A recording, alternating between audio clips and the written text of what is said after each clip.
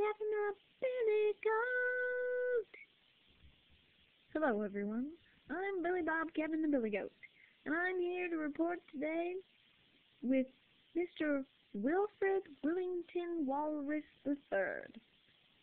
Nice to meet you, Willie. Can I call you Willie? Uh, sure.